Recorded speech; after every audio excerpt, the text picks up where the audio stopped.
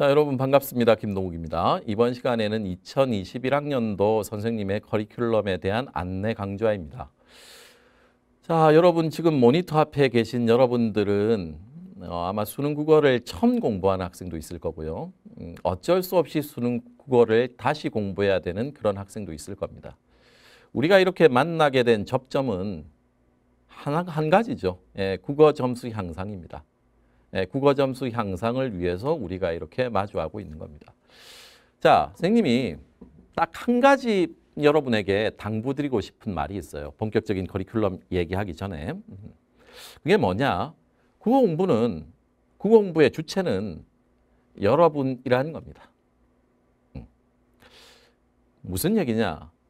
구체적으로 선생님 수업을 한 시간 듣는다라고 한다면 적어도 그만큼의 예습의 시간은 있어야 됩니다. 1년 내내 여러분들이 이것만 잘 따라와 준다면 선생님은 확실하게 얘기할 수 있어요. 어떤 얘기? 어, 이런 말은 미신에 불과하다는 것을. 어떤 말이요? 국어는 해도 안 해도 성적은 그대로야. 라는 말은 전혀 사실이 아니라고 확실하게 여러분에게 증명해 보일 수 있습니다. 국어는요, 제대로 열심히 하면 충분히 성적 오르는 과목입니다. 그 대신 중요한 건 쌤이 충분히 도와드릴게요. 그렇지만 공부의 주체는 여러분이어야 한다는 말씀입니다. 이해되셨나요? 예, 좋습니다. 그러면 본격적으로 중요한 얘기였어요. 예, 본격적으로 커리큘럼 해설을 시작해 보도록 하겠습니다. 자, 그럼 본격적으로 예, 커리큘럼에 대해서 해설을 좀 해볼게요. 첫 번째로 수능 국어는 김동욱입니다. 이건 예, 인문 강좌입니다. 네, 그 다음 두 번째 일취월장 클래스가 있는데요. 이건 대치동 현장 강의를 그대로 올리는 강좌입니다. 단 1초의 편집도 없이 대치동 강의를 그대로 올립니다. 어, 세 번째는 기출 강좌인데요. 음, 기출을 혼자 공부한 학생들을 위해서 예, 기출 선생님이 최근 한 7, 8년 동안의 기출과 평가원에 대한 주요 문제들을 해설해서 담아놓은 강좌입니다. 그 다음 마지막으로 실력 강화 프로그램이 있는데요. 네. 대치동에 듣는 학생들의 평균적인 등급이 어, 한 2등급 중간 정도 됩니다. 그래서 어, 시간이 없어서 다루지 못한 내용도 있고요. 음. 여기에서 다루기에 너무나 쉬워서 다루지 못한 것들도 있습니다. 일치월장에. 그래서 에, 그런 것들을 기본 독서, 그 다음에 EBS, 에, 그 다음 파이널 이런 식으로 해서 네 가지로 실력 강화 프로그램도 있습니다. 자, 그럼 본격적으로 하나하나 구체적으로 어떤 것들이 있는지 살펴보도록 하겠습니다. 자, 그러면 본격적으로 각 강의들이 어떤 내용을 담고 있는지 살펴보도록 합시다. 첫 번째 수능 국어는 김동욱입니다. 강인데요. 말 그대로 인문 강좌입니다. 수능 국어를 공부할 때 어떤 시각이나 어떤 자세로 공부해야 될 것인가. 예, 수능 국어를 보는 눈을 확립하기 위한 그런 강좌이죠. 뭐 제목 쭉 보시면 알겠지만 지문에 반응하는 것이 어떤 것이냐. 정보량이 많은 지문은 어떻게 처리해야 할 것인가. 내신 국어하고 수능 국어는 어떻게 다른가. 화법과 작문, 예, 발췌독은 절대 하지 말자. 예, 문법은 어떤 방식으로 공부해야 될 것인가? 현대시, 고전시가 산문문학 어떻게 공부할 것인가? 예, 독서 기출은 어떻게 분석할 것인가? 마지막으로 EBS 교재가 많이 반영되죠. 네, 근데 EBS가 어떤 식으로 반영되는지를 좀 살펴보고 효과적인 EBS 공법에 대해서 알아보는 그런 강좌입니다. 일치월장 클래스가 시작하기 전 즉 12월 6일부터 아마 여러분들 뭐 기말고사가 이제 거의 끝나고 나서 중간에 한 2, 3주 정도 시간이 있죠. 예. 그때 일취월장 시작하기 전까지 그때 완강이 될 거니까 예, 그때 수능 국어를 예, 보는 자세를 확립하기 위해서 이 강좌는 도움이 되지 않을까라는 생각이 듭니다. 자, 그 다음에요. 일취월장 클래스인데요. 일취월장 클래스는 대치동 현장 강의입니다. 예, 선생님의 메인 컬이라고 생각하시면 됩니다. 예, 대치동 현장 강의를 1초의 편집 없이 그대로 그냥 올립니다. 어, 36주, 예, 전체적으로 내년에는 36주의 현장 강의가 계획되어 있으므로 일취월장 클래스도 전체적으로 36주로 구성될 겁니다. 1클래스, 1클래스 하나씩만 설명할게요. 화요일 날 업로드 됩니다. 화요일 날. 올해는 월요일 날 업로드 됐는데요. 내년에는 화요일 날 업로드 하겠습니다. 예, 월요일 날 업로드 한, 하기 위해서는 일요일 날 이제 오후 시간에 찍었는데 일요일 오후 시간이 일요일에다가 오후 시간이라 학생들 눈빛이 그렇게 똘망똘망하진 않아서 예, 선생님 기대감으로 월요일 날 저녁은 똘망똘망할 거야 라는 생각으로 예, 이번에는 월요일 날 저녁 시간 수업을 한번 올려보려고 합니다. 자, 수업은 8주고요. 바탕 모의고사가 들어 있습니다. 이게 1회인지 2회인지는 아직 확정된 건 아닌데요. 어쨌든 여러분들 수업 8주에 바탕 모의고사가 한두 회 담겨 있다라고 생각하시면 될 겁니다.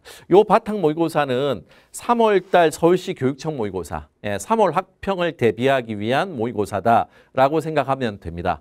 어, 전체적으로 12월 말에서 3월 초까지, 음, 3월 학평 전까지 예, 이렇게 구성되어 있습니다. 겨울방학 기간이겠네요. 예, 그때 집중적으로 예, 공부, 예, 국어 공부는 이렇게 해야 된다라는 걸 얘기하는 예, 강좌입니다. 어, 전체적으로 현장 85분씩 두 강이에요. 한 주에. 어, 여러분들 이 작년에 재작년에 쌤한테 이런 말을 많이 해 주셨어요. 쌤 85분, 90분 너무 길어요. 이렇게 얘기하는데 맞습니다. 깁니다. 부담스럽죠. 근데 그걸 어떻게 해결해 보려고 예, 60분에서 좀 끊어보고 그 다음에 30분 있는 걸 가지고 자 쉬자 그 다음에 편집해서 또 쉬고 나서 붙여보고 이렇게 해서 세 강으로 만들어 봤더니 이게 영 이상해요. 그래서 그냥 현장 수업 그대로 텀을 계속 갈 테니까 여러분들 좀 다소 부담되긴 하지만 예습 열심히 하시면 예, 충분히 글쎄요, 예, 쌤 이런 말 해서 그런지 모르겠지만 몰입, 몰입감이 있는 강좌입니다. 그러니까 85분 충분히 예, 빠져들 수 있으니까 여러분들 예습만 잘 해오시면 그리 긴 시간은 아닐 거라고 생각합니다. 자, 그 다음에 내용은 뭐 네, 본질들, 예, 그 다음에 문법 개념과 지문형 문법. 예, 일치월장 클래스의 문법의 예, 차이점은 지문형 문법을 제법 많이 다루겠다라는 겁니다. 자, 그 다음에 본바탕 모의고사 얘기했고요. 예, 연필통이라는 게 있는데 연습하면 반드시 필, 통한다. 연습하면 반드시 통한다라는 연필통이 있는데요. 요거는 복습 교재입니다. 복습 교재. 수업 보충 및 복습 교재. 그러니까 말 그대로 수업 시간에 배웠던 내용을 체화하는 교재이다라고 생각하시면 됩니다. 이해되셨죠? 네, 그러니까 수업 시간에 배웠던 내용을 한 번 더 설명하거나 이와 유사한 내용들을 에, 연습하는 에, 그런 교재라고 생각하면 됩니다. 작년에는 매주 나왔는데 올해는 에, 편하게 여러분들 편하라고 단권화해서 진행하겠습니다. 이렇게 구성되어 있습니다. 자, 취 클래스도 마찬가지죠. 예, 구성은 거의 차이가 없습니다.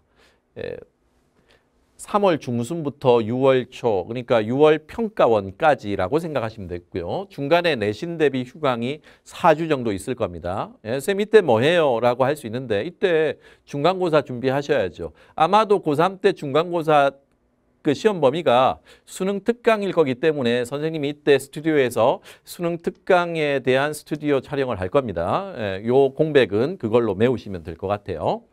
예, 나머지는 다 마찬가지입니다. 특히 좀 취 클래스의 특이점이라면 독서를 제재별로 예, 논리, 철학, 뭐 과학, 기술, 그다음에 법, 경제 이런 식으로 읽어야 된다. 제재별로 문학은 갈래별로 문법은 두 번째 시간. 이렇게 해서 문법은 끝낼 겁니다. 이렇게 구성되어 있다.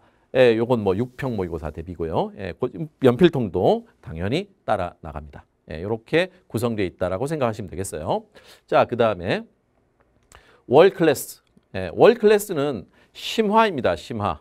네, 기말고사가 끝나고 예, 여름방학이 시작할 무렵에 7월 초니까 기말고사 끝나고 바로 시작한다고 보면 되겠죠. 그리고 여름방학 기간인데요.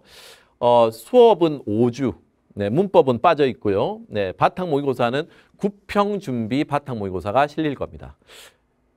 특징은 말 그대로 심화라는 거예요. 음, 그러니까 수능의 지문 난이도보다는 한 단계 위에 있는 그래서 튼튼한 여러분들의 실력을 올리기 위한 네, 여러분들의 실력을 더욱더 굳건하게 만들기 위한 그런 심화 교재다라고 생각하시면 됩니다. 연필통 역시 따라 나갑니다.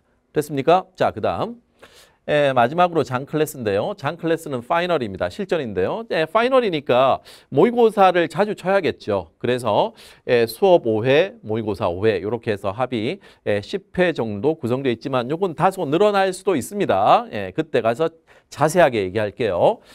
어, 이 5주의 내용은 말 그대로 고난도 내용들을 쭉 정리할 거고요. 음, 문법도 요때 파이널 수업을 전개할 겁니다. 예, 조금 고난도 문제 중심으로. 예, 이때는 연필통은 없고요. 그 다음에 아, 이런 질문이 있을 텐데 강화 클래스에 뒤에 이제 좀 이따 설명하겠지만 거기에도 파이널이 있습니다. 강화 클래스 파이널이 있는데 요거 이 파이널은 일치월장 커리에 따른 파이널이고요. 강화 클래스 파이널은 말 그대로 아주 짧게 어 2021학년도에 6평, 9평 시험지, 문제지 등을 바탕으로 해서 아 올해는 이런 것들이 예, 출제될 것 같고 이런 식으로 좀 정리를 해야 될 것 같다라는 것을 간단하게 살펴보는 그런 예, 파이널이라고 생각하시면 되겠습니다. 그런 성격상의 차이가 있습니다. 이해되셨나요? 네, 자 계속 한번 가보죠. 자, 그 다음에 김동국의 기출이라는 게 있는데요. 이 기출은 어, 기출 문제를 혼자 공부하는 학생들을 위해서 에, 선생님이 한 8년 동안 에, 6월, 9월 수능에 오답률이 높은 문제들만을 모두 다 해설해 놓았어요. 예, 그것들 참고해서 문제별로 참고해서 예, 기출 문제 푸는 학생이라면 그 어려운 문제 혹은 이해가 안 되는 지문들은 발췌해서 들으시면 나쁘지는 않을 것 같습니다. 자, 그 다음에 실력 강화 편인데요. 이게 왜 따로 있느냐. 어, 선생님 얘기를 잘 들어주세요. 현장에 일치월장 클래스를 진행하면 여기에 있는 학생들의 평균 등급이 어, 1등급과 2등급의 사이에 좀 됩니다. 예, 그래서 너무 쉬운 걸 다룰 수도 없고요, 여기에는. 그죠? 그 다음에 일주일에 세시간을 하니까 모의고사를 중간중간에 치니까 여기에서 다루지 못하는 것들도 있습니다. 그래서 너무 쉽거나 아니면 다루지 못하는 것들 을 예, 모아서 이렇게 실력 강화 프로그램을 만들었습니다. 기본 독서 EBS 파이널 이런 게 있는데요. 자, 기본은 뭐냐? 보시죠. 음. 문법입니다. 문법. 음. 음. 핵심 체크 58이라고 해서 예, 테마별로 테마별로 짧게 짧게 끊어서 예, 문법을 공부할 수 있도록 이건 스튜디오 수업입니다. 스튜디오 수업이고요. 12월 10일 날 개강합니다. 문법에 따른 연필통은 있습니다.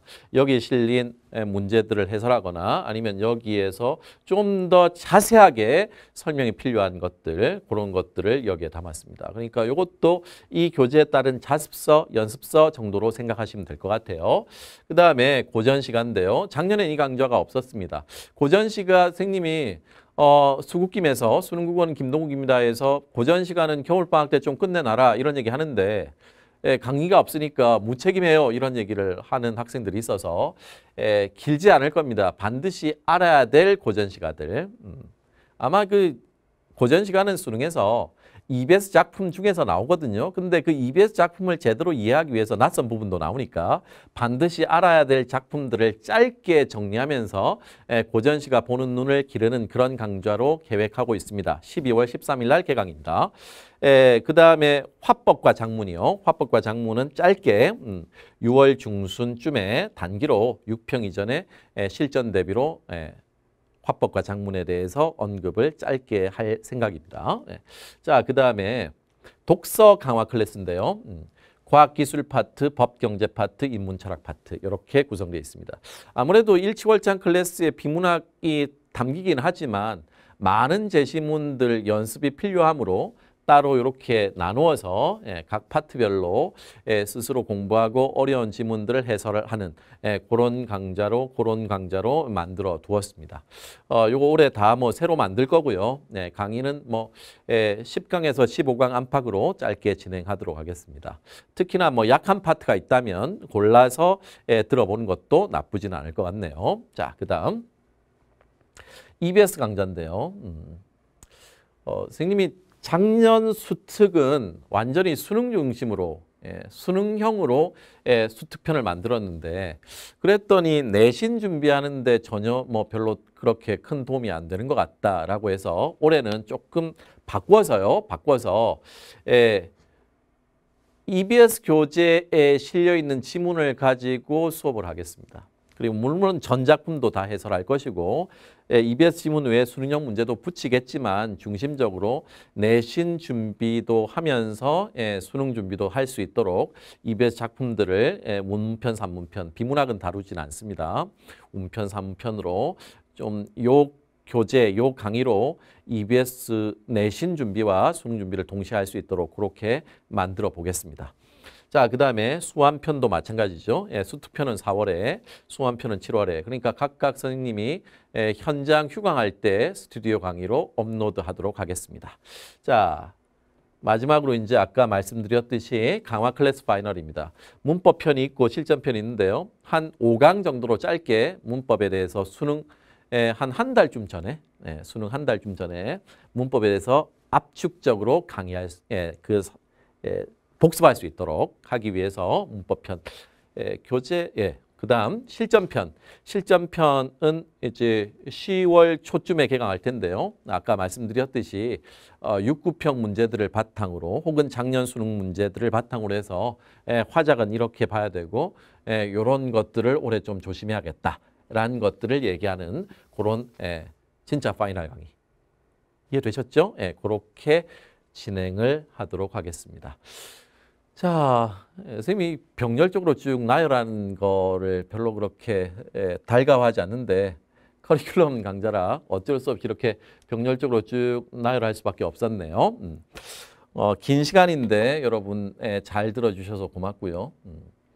어, 선생님 여러분 올해 한 해 정말 열심히 하실 거잖아요. 예, 쌤도 예, 여러분 기대에 예, 어긋남이 없이 예, 쌤도 열심히 할 겁니다. 어, 다시 한번 얘기하는데 예, 공부의 주체는 여러분이고요. 선생님은 여러분들의 충실한 조력자가 되도록 최선을 다하도록 하겠습니다. 자, 예, 여기까지입니다. 잘 들어주셔서 고맙습니다.